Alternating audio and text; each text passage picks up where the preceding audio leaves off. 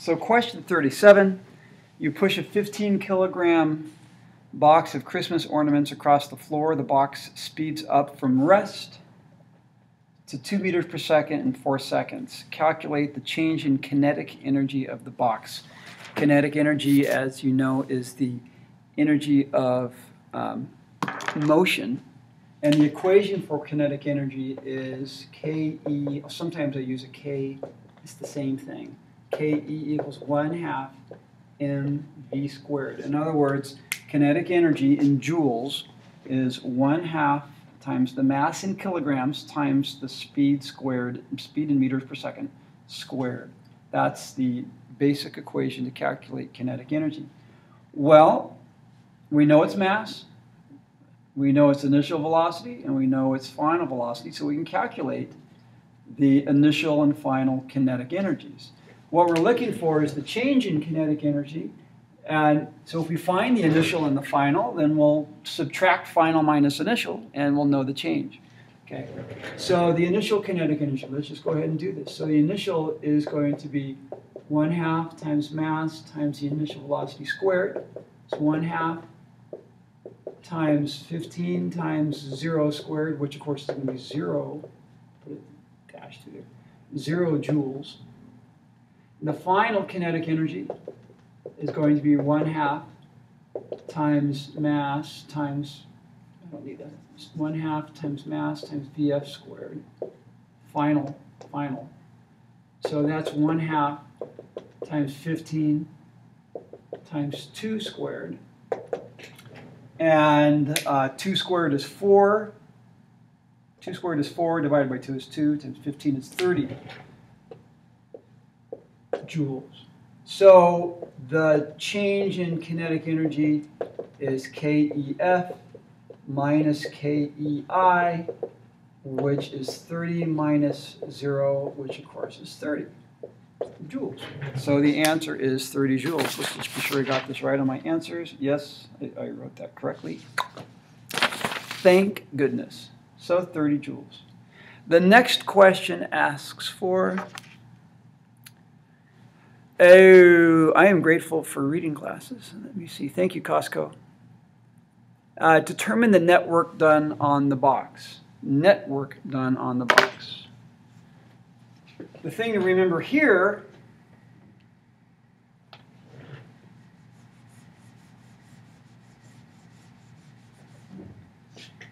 is that the um, network equals the change in energy of the box. This is a box sliding on a floor. You're pushing a box across the floor. There is no change in potential energy. There's only a change in kinetic energy. There is no change in potential energy. There's only a change in kinetic energy. So we just calculated the change in the energy. We said it was 30 joules.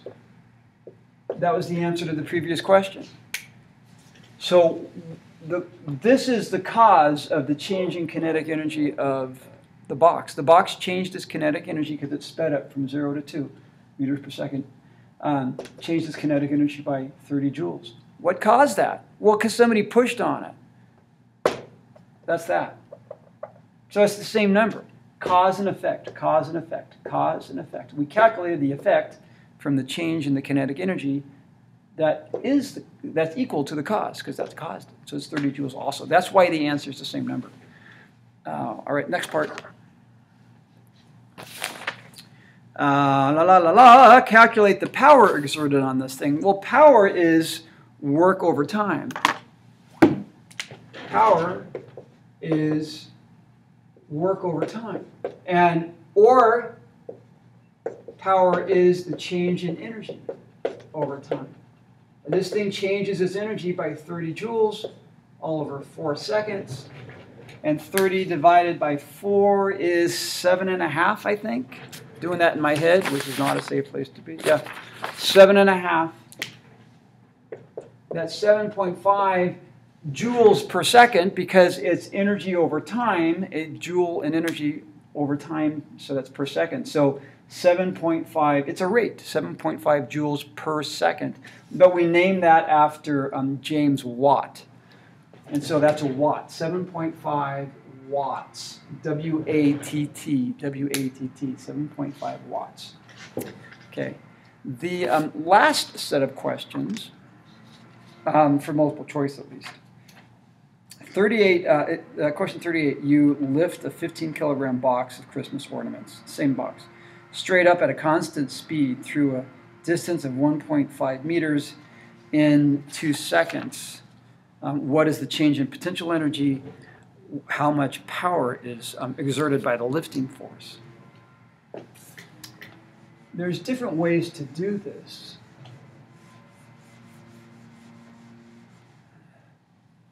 You lift this thing up, slight, say you're going to put it on, you know, on a, on a shelf somewhere or a, or a table, you know. So you want to lift it up, or how high does it go? Uh, 1.5 meters. 1.5 meters. You do that in a time of two seconds. The mass, of course, is still 15 kilograms. Okay, and you lift the thing up with constant speed.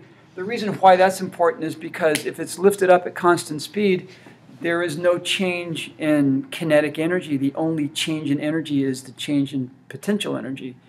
And remember that we're only interested in energy changes. Because if the energy is the same before and after, there's no change. kind of obvious, I'm sorry. Uh, so we're only interested in energy changes. It's the potential energy that changes in this, in this case, right? So it starts down here. I'm going to call this its initial height of 0, and its final height at, is 1.5 meters.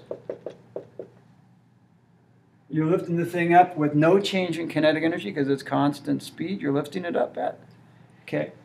So the change in energy is going to be the change in the potential energy, which is UGF minus UGI. Okay, how did I ask this question? What's the change in potential energy? Okay, so we're looking for the change in potential energy. Um, that is the change in energy, it's the change in potential. The final potential minus the initial. So that's going to be mgyf minus mgyi. So that's 15 times, we'll use 10, times um, a height of 1.5 minus 0, right? Because this is 15 times 10 times 0, 0. And again, use g for 10. And your g isn't negative. g doesn't have a sign. You can make it negative when you're dropping something. But g itself is just the number 10. That's, that's n times g, that's your weight, right? That's the object's weight times it, the height through you through which you lifted it. So that's going to be um, 50 times 15 times 10 is 150 times 1.5. I think this is 225, but let me check. Um, yeah, 225 joules. So that's 225 joules. So that's the change in potential energy. Well, Again, that's and that's the change in energy. There's no change in kinetic energy. So I'm going to erase this. I need the space. So what's next? The um, how much power is exerted? Well, to know the power, you need to know the change in energy. Well, delta E is the change in potential which we just said was 225 joules. So power equals work over time or a change in energy over time, which is going to be 225 all over 2.5 seconds.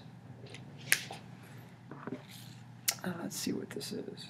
Divided by 2.5 is 90. Let's just be sure that's the same number I got on my answer key. I mean, whoopsies. Did I did I make a mistake? Did I make a mistake? Um, oh, it's two seconds. God, no wonder. Bad teacher. It's two seconds.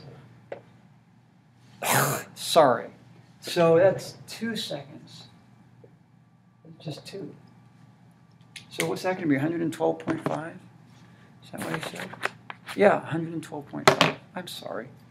Okay, so it's still change in energy with the energy change by 225 joules divided by the time of two seconds.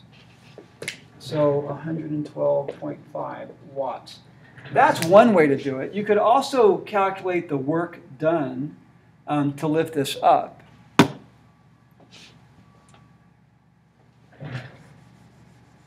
And the work, uh, the work done, you need to know the lifting force. All right, if you drew a force diagram, which I know you all love, all right, you apply a force, your lifting force, and there's the weight. Sorry about that.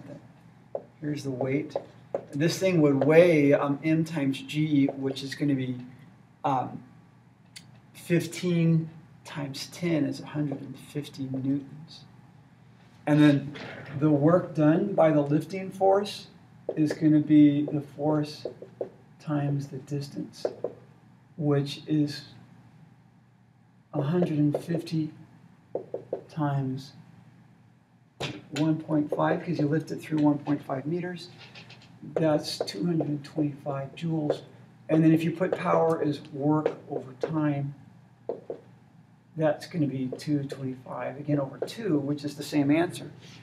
Um, lastly, there is one other way to calculate power. Why do it all these different ways? Well, you only have to do it one way. But there is another way to calculate power if you feel like it. Um, but did I give you a velocity? Uh, you could calculate, yeah, you could calculate it this way if you want. Um, power is also equal to force times velocity. Well, what force, that's just another equation. What force did you apply? You applied a force, because it's constant speed. It's constant speed, so that equals that. They equal each other. Constant speed, no acceleration, constant speed. It says so in the problem. So if that weighs 150 newtons, you applied a force of 150 newtons, so that's 150. And what's the speed? It's constant. You lifted it up in um, distance over time, constant speed. So that's going to be distance of 1.5 meters all over two seconds. What's that? 0.75? 150 times uh, 0.75 meters per second. That's the speed, right? Speed is distance over time. 0.75 meters per second. And if that doesn't come out to be 112, how am I doing on time? I'm okay. Um, 112.5, then I'm in trouble. 150 times 0.75.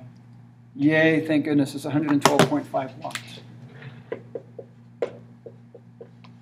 Okay, those are three separate ways to calculate it. Whichever one occurs to you when you're doing the problem is fine. Okay? See ya.